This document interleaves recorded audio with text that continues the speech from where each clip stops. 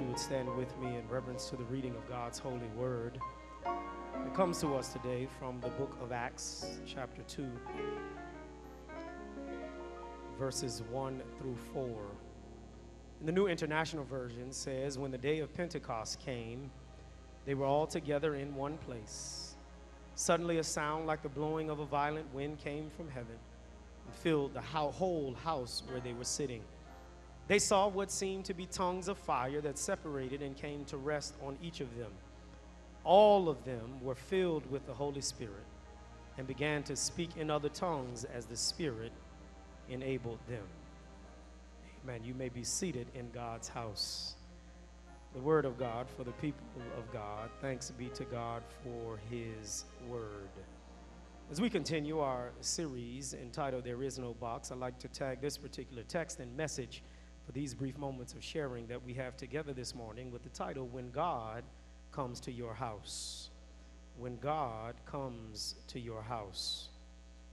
There is a legend, according to the Reverend Dr. William Watley, that says that after Jesus ascended into heaven, when he got back to heaven as the exalted and reigning and resurrected Christ, that some of the angels were curious about his earthly mission and had a few questions for him upon his return.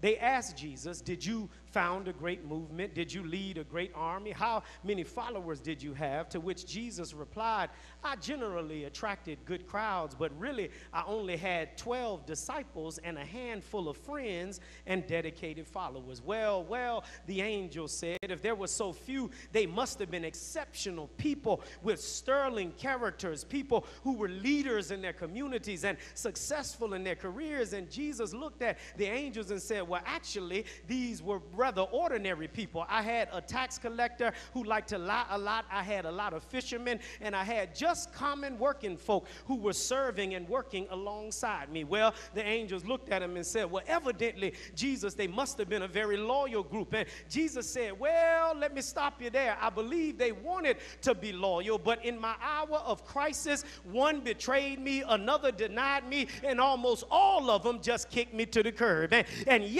they said, Yet, Jesus, you left those people there to carry on your work. He said, Yes, I did, excitedly to the angels. Surely, the angel said, You got to have another plan. You got to have an alternative plan. Jesus said, No, I have no alternate plan. Angel said, But you got to have another group in reserve somewhere in the event that that one, because that one, that group of folks is surely going to fail. And what Jesus looked at them and said, I don't have another group. This group is the only one that I'm depending on because this group is my church. So, as unstable and as unreliable as all of us are, as easily as we become discouraged and distracted, as quickly as we get tired and ready to give up on church, as often as we're inclined to complain and engage in self pity, as stubborn as we are, and as insistent in walking in our own will, as weak and unworthy as we are, the fact remains that Jesus has committed to all of us this work of his kingdom. And if we're truly going to represent Jesus in ways that make Jesus irresistible to the world, then we must be willing to let the Spirit of the Holy Ghost into our house. Now, metaphorically, I'm not simply talking about the physical dwelling you occupy that provides shelter for you and your family, but I'm talking about this house, the house of this earthly tabernacle, this clay bound castle, this house which holds your heart, your soul, and your mind. You got to let God into your house. Uh, there was this little, little old lady, little old lady, she lived on what, what everybody thought was the wrong side of the tracks for one year. For one whole year, she had been trying to join this fashionable downtown church. The pastor was not eager to have this sister disrupt uh, who looked she was wearing faded, out of style clothes. He was not he was not well pleased to have her sitting in the pew next to the rich and powerful members of his congregation. Well, when she called the pastor for the fifth time to discuss membership, he put her off a fifth time and he said to her this. He said, "I tell you what, you, you just go home." Home tonight and have a talk with God about this. Uh, later, you can tell me what the Lord tells you. He, he, he didn't really think the Lord would talk to her. Well, the little old woman went her way. Weeks transitioned to months, and months transitioned into a year, and the pastor didn't see her anymore, and his conscience began to eat at him. Well, one day he was in the grocery store, and, and he saw her scrubbing floors down behind the counter in the grocery store, behind the fish counter in the grocery store, and he felt compelled to inquire, Did you ever, sister, have your little talk with God? She said, Oh, my, yes, I talked with the Lord as you told me to, brother pastor. Well, the pastor said, What answer did the Lord give you? She said, Well, brother pastor, as she pushed back a wisp of stringy hair with her hands in suds, she said, God told me, Don't you get discouraged, but to keep trying and keep going. He said that he himself had been trying to get in your church for years, uh, and for the last 20 years, and he ain't been able to get in either. Uh, you do know there's stuff that you do where you don't let God into your space. Uh, we go to places, we have conversations. Some of us had conversations today or yesterday that God was not permitted by us to manifest His presence. Oh, think of some of the phone calls you make. You, you, you think the Lord is in there? You, you think of some of the things you say, you say and do to people. You think the Lord is in there? Oh, yes. If God desired, He could do whatever He wanted when He wanted. But because my God is a door knocker, as opposed to busting the door down, He knocks, but you got to respond by letting Him in. Even in the church, we sometimes have functions that are more focused on lifting us up than they are on magnifying the matchless and marvelous name of Jesus in, in, in, the house, in your own house, the language you use, the way you treat your body, the way you treat your family, the conversations you have, the unfriendly comments you make about others, the time we spend bickering over nothingness and the lifestyle that we lead when nobody is watching sometimes keeps God standing at the door waiting for us to let him in. Oh, yes, some of us are kind enough to oblige God and allow Him into our houses uh, every once in a while when it's convenient for us, when we need something from the Lord, when we have a desire for God to heal our body, some chain to be broken, when we need a blessing, when we're down and almost defeated, perplexed, and in peril. We are then kind enough to welcome God in. And when He enters, after He turns your mess into miracle, after He changes your predicament into praise, after your viciousness turns to victory, after he turns struggles into strength, we will do things and say things that put God right back out again.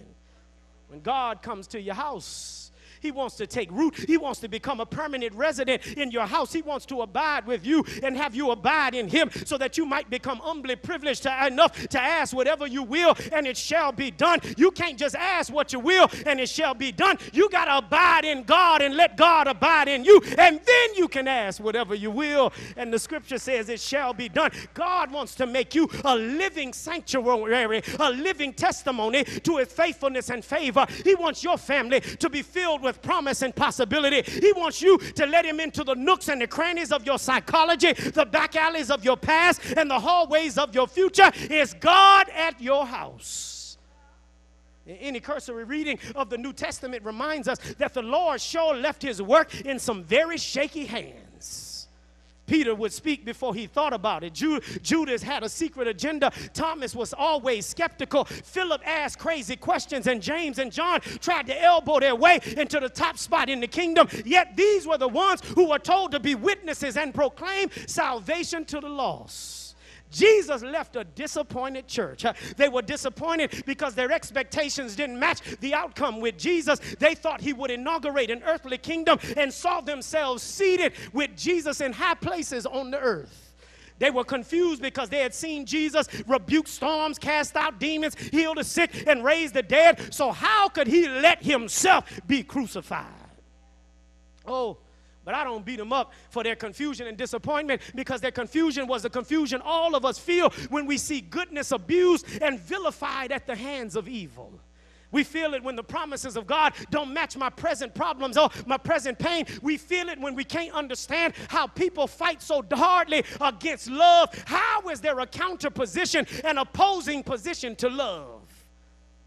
How is love ever wrong? They, Th- This group were, were weakened, they were frail, fragmented, frightened, lifeless church because they had lost the one who had called them from where they were and brought them together. Though the power of this text, though, is that despite their frailty and confusion, they were still hopeful, believing that God had a promise for the carpenter Christ. And lo, I'm with you always, even until the end of the world. They were holding on to that in their hearts, their souls, and until Jesus would return, they held on to what he told them. Some of you have heard this story before, but it's been said that, that Niccolo Paganini was in concert when one of the strings on his instrument uh, snapped. He, he was a great violinist. The crowd laughed at him. He kept on playing, however, and shortly thereafter, another string on his violin broke. The crowd laughed at him again. Later, the third string broke, and Paganini continued to bring forth glorious music from the one string he had left. Uh, The audience looked on in wonder. They realized they were indeed in the presence of a master who could bring forth majestic music from a violin with just one good string. Uh,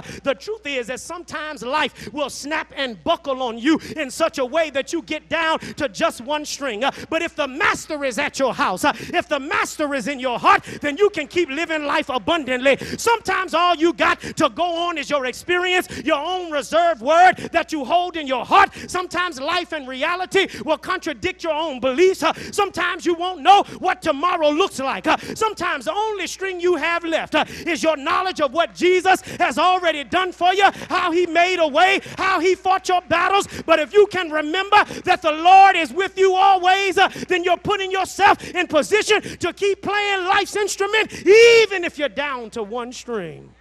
Somebody shout one string, one string, one string. If all I got is one string, and I got Jesus in my heart, I got Jesus in my house, if I just got one string, Guess what? The master can take my one string and turn my midnight into morning, my darkness into day. My God is able. He's able. He's able. Try travel with me. Travel with me to the place we're striving to be as a church. Antioch. We are trying to be this Acts 2 church. This group of people, family and friends, we're all in one place that they have been kicking it a few days now. The saints were assembled, y'all. They were assembled together. And parenthetically, understand that even a weak, frail church of Jesus is stronger than one individual. Even in a weak church, never underestimate the power of the children of God when folks assemble in Jesus' name.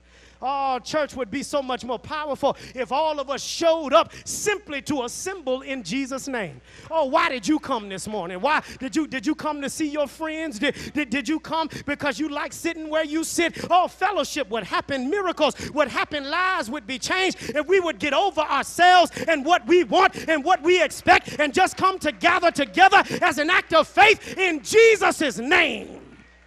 Oh, if when you got up to go to church, all you thought about wasn't who was teaching Sunday school, who who gonna preach this morning, who what they gonna sing about today.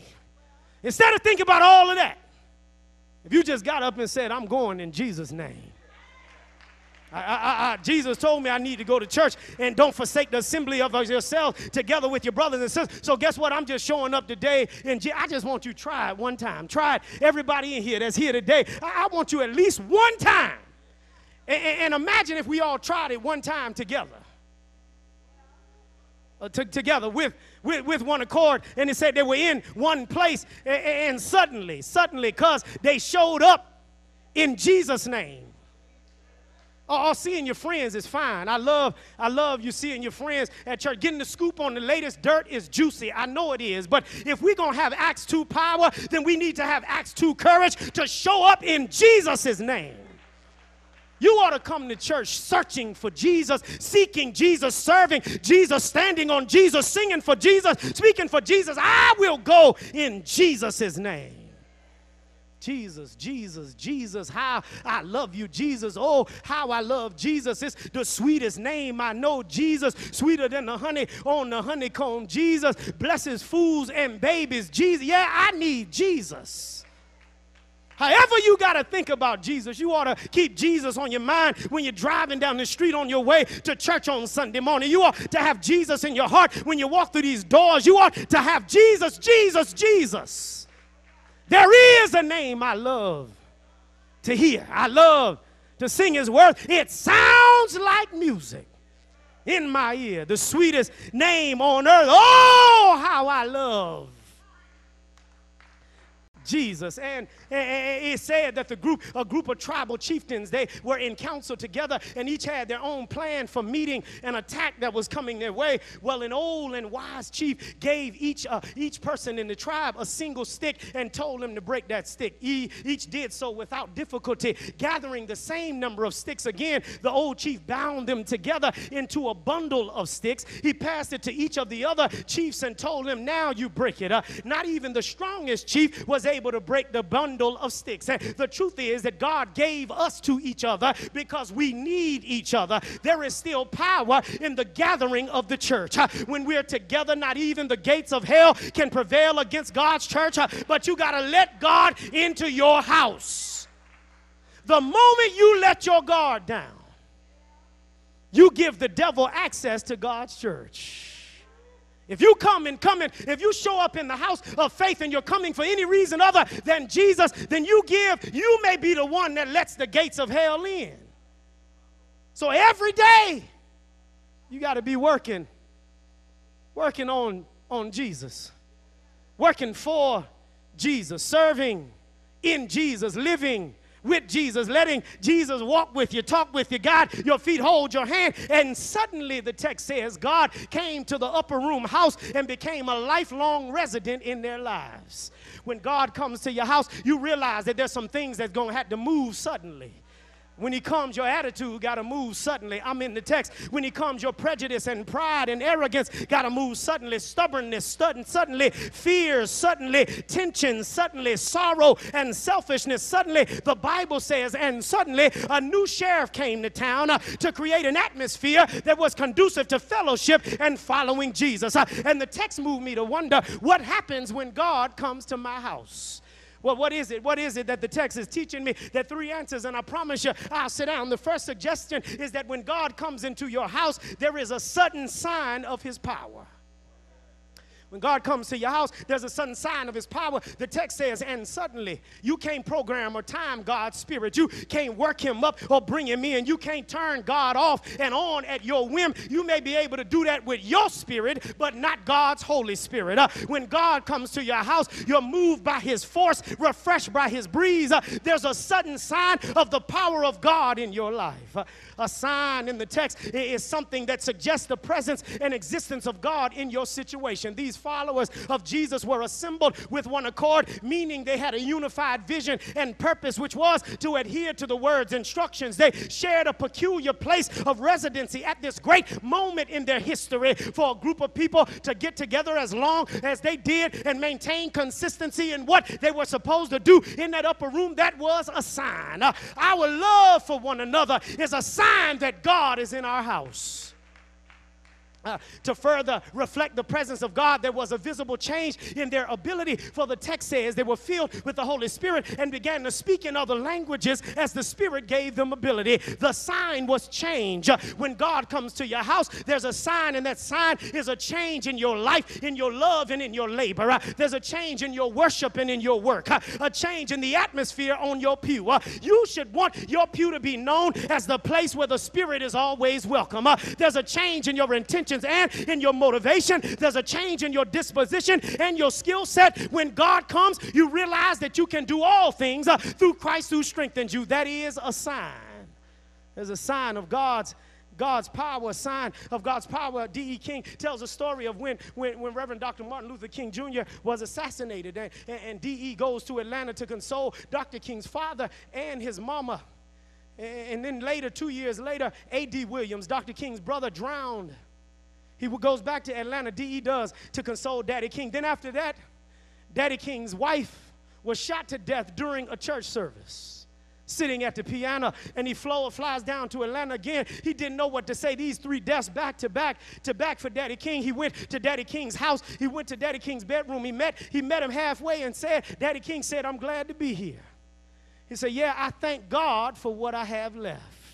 Oh, and D.E. King looked at Daddy King and didn't know what he was talking about. D.E. said, Well, what do you have left, Daddy King? Everybody is gone. A.D. is gone. Martin is gone. Your wife is gone. He said, God, I still got God. See, when God comes to your house, you know that when you've got nothing left, you still got God. God changes my language. He changes my commitment. He changes my anxieties. Uh, the songwriter said, He soothes my doubts uh, and He calms my fears uh, and He dries my tears. Uh, he changes my walk. Uh, he orders my steps. Uh, he guides my feet.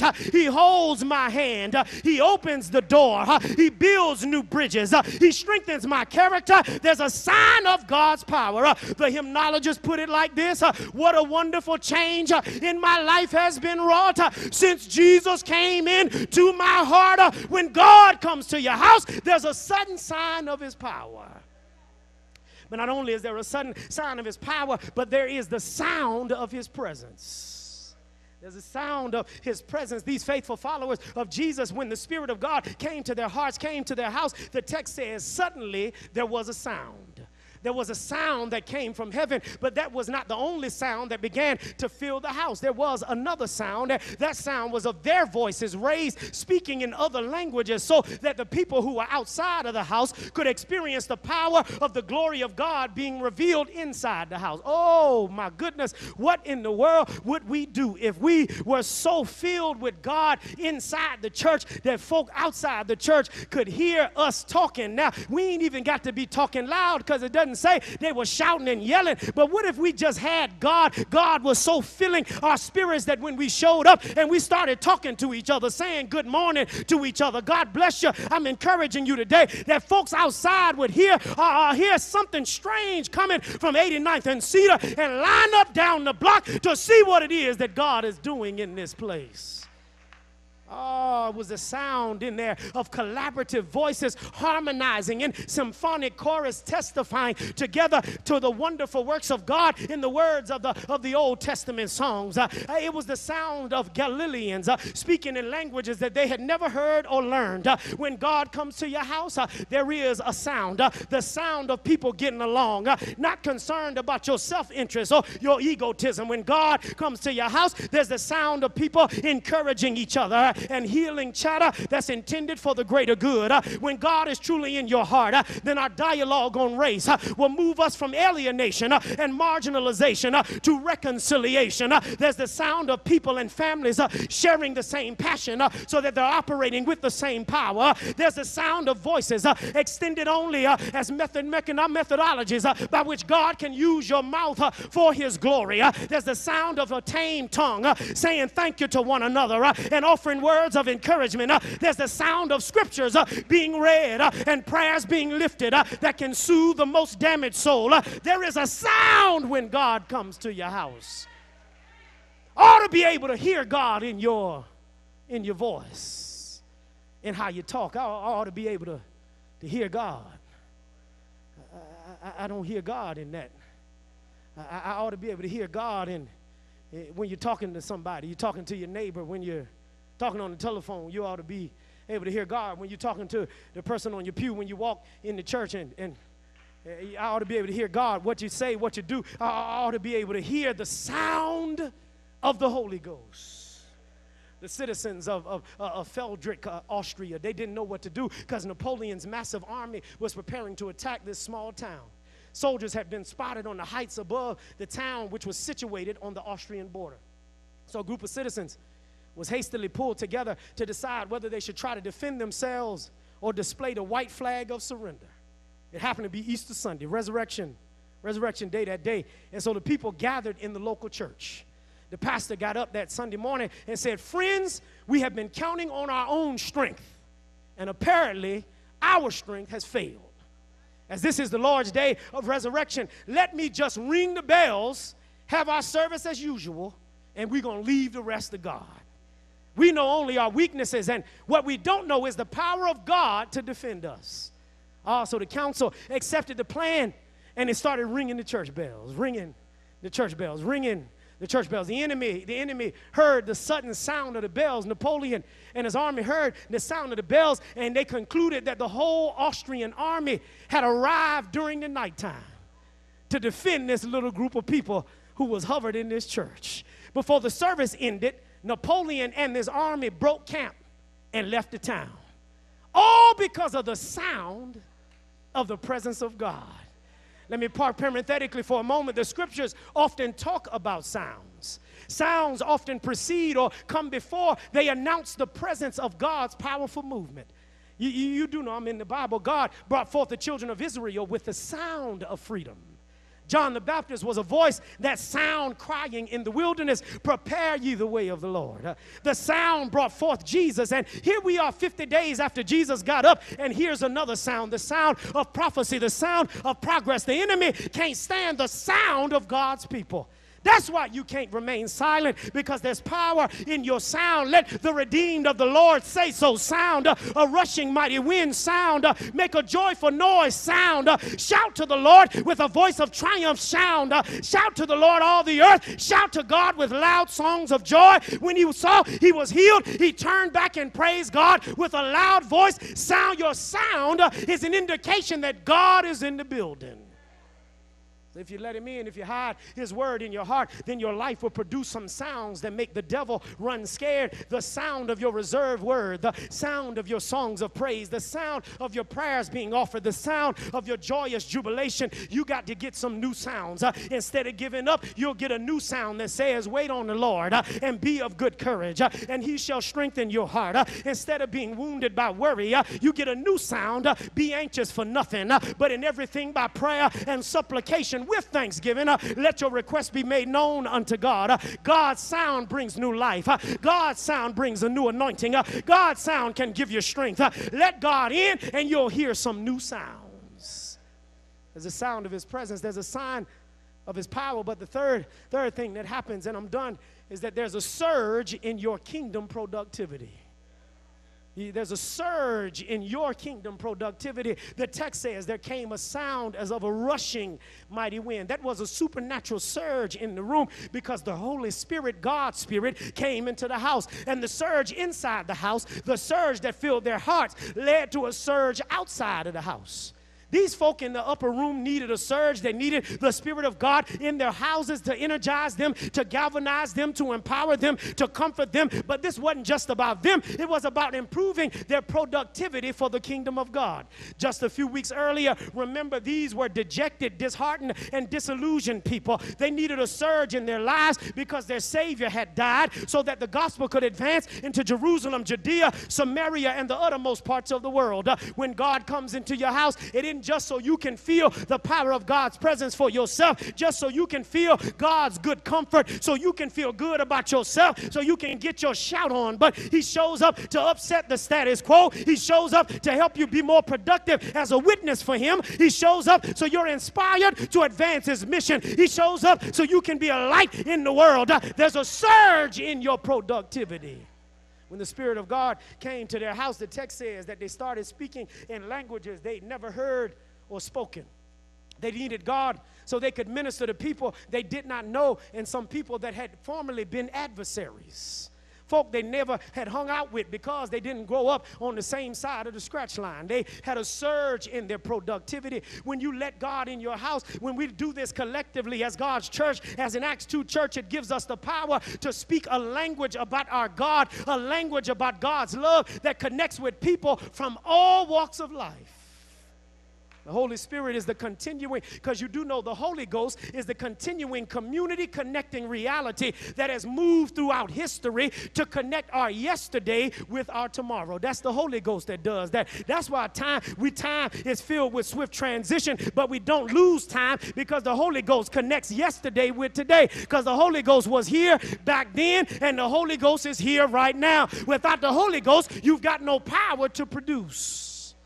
Just so happened that that day Jerusalem was filled with people from all over the world who were there to celebrate Jewish Pentecost. When they heard the shouts of praise from the one church of one accord and in the one Holy Spirit, they understood what was said and they asked, How can this be? These men are all from Galilee, and yet we hear them speaking Aramaic.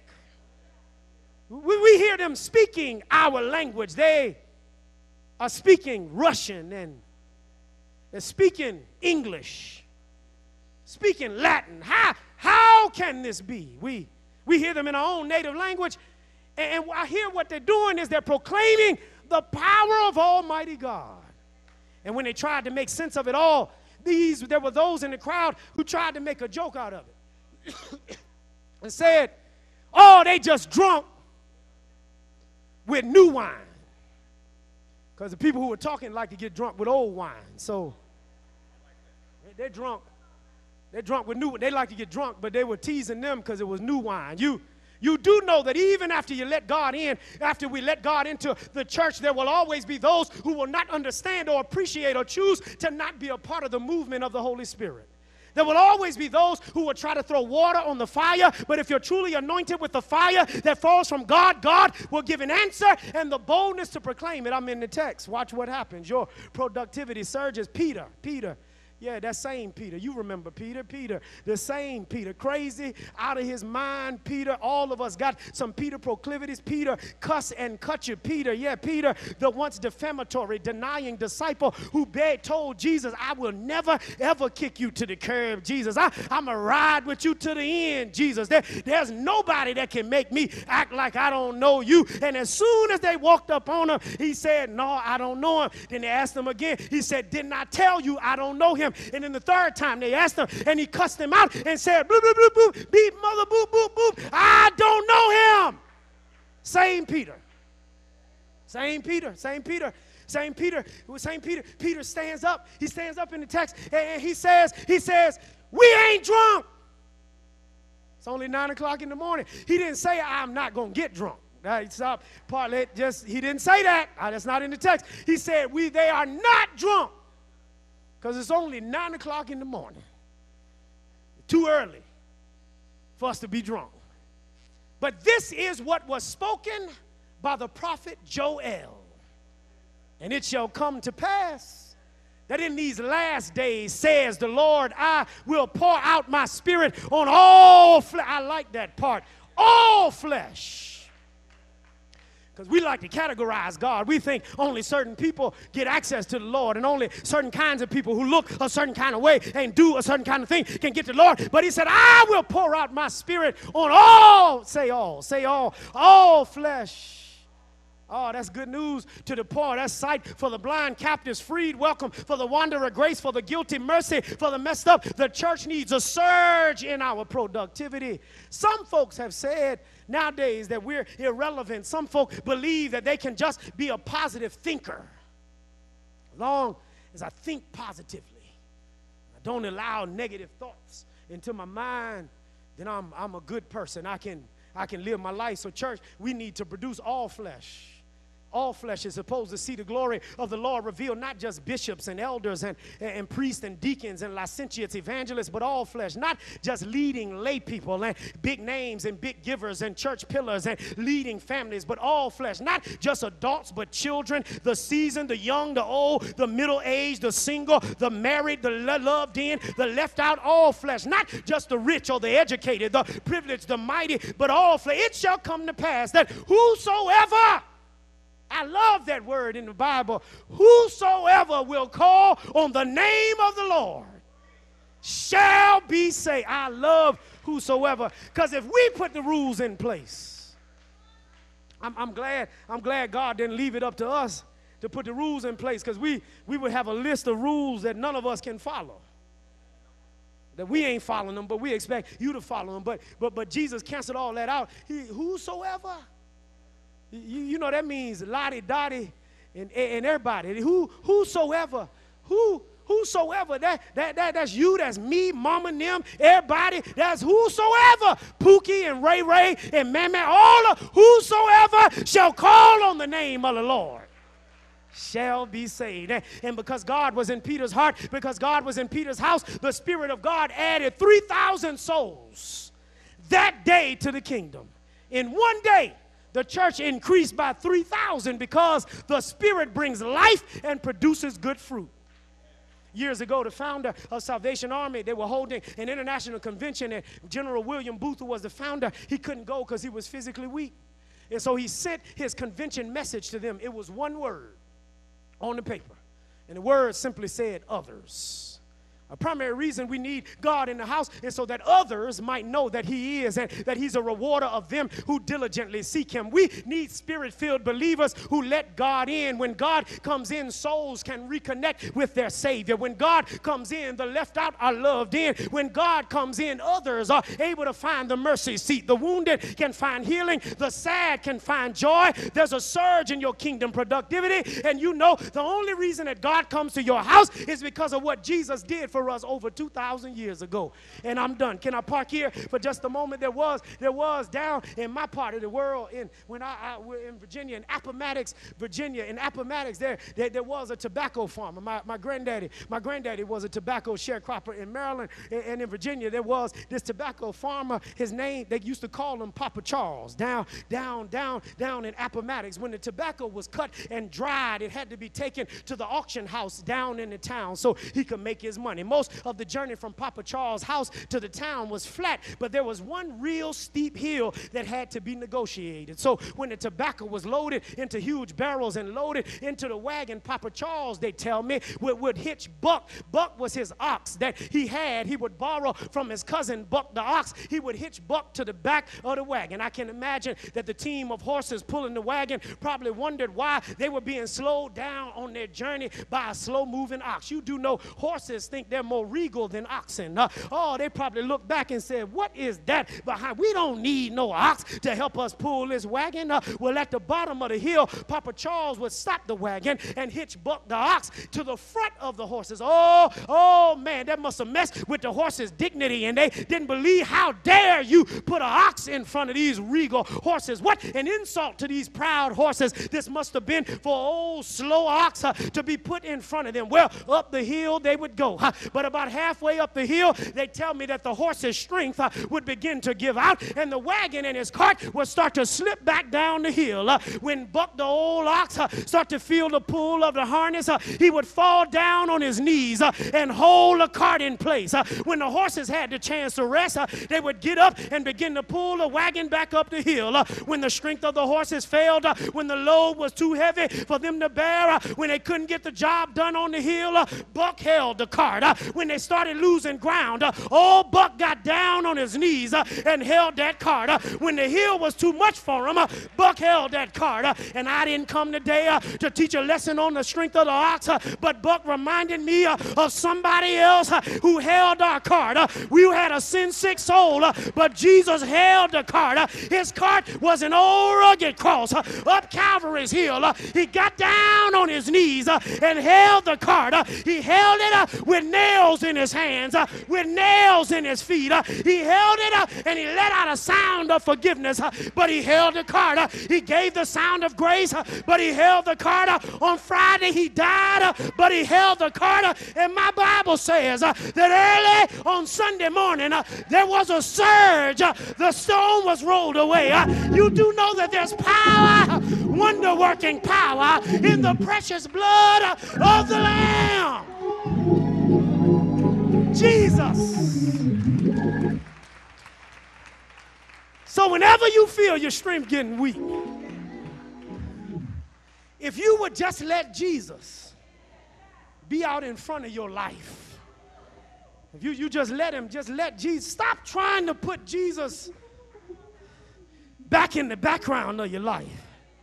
But, but if you ever let him out front, whenever you get tired, Whenever you get weak, you start falling back down. You, Jesus said, I, I go down on my knees. And the Bible says he makes intercession. He at the right hand of the Father. So, so when you get weak, if you let him out front, you get weak and Jesus start praying. Father, uh, they need your help. Father, they, they don't know what it's like. Just Help me help them bear the load. But you got to let Jesus get in front. Got to let God into your house. Got to let him in. And there's a sign of his power. There's the sound of his presence. And there's a surge in your productivity. Will you let God into your house? Stand with me all over God's house. Father God, we thank you that there is no box with you. Give us the courage, the strength, the stamina, the wisdom to let Jesus guide our lives up the steep hills of life. God, we pray that we would be committed to letting you in, to letting your Holy Spirit lead us and guide us, to letting you direct our paths and order our steps.